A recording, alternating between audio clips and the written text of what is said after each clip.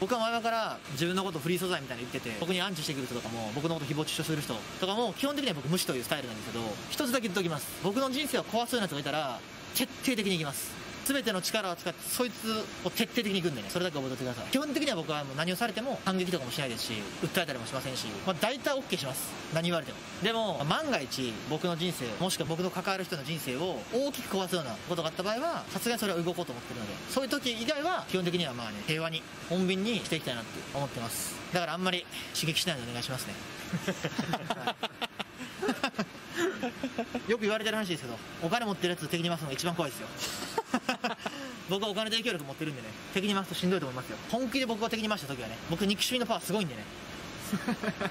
いや俺がその1点だけに人生を注いだ時はすごいですよそれはもちろん。そんなことまずないですけどね。そうならないことを祈ってますけど。でもなんか本当に取り返しのつかないようなことをされた時はそうせざるを得ない時も来るかもしれないんでね。そうならないことを祈ってます。だから皆さん刺激しないようにねあんまりお願いします。ね